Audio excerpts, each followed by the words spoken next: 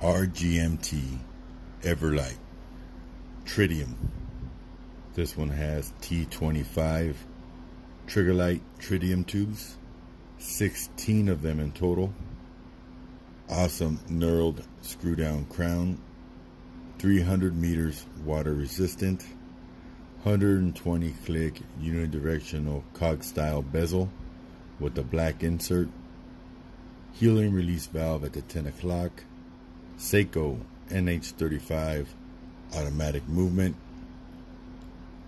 What do you guys think of this watch? I think it's a stunner. This is my second RGMT Everlight. And I dig them. I just like that cog style bezel.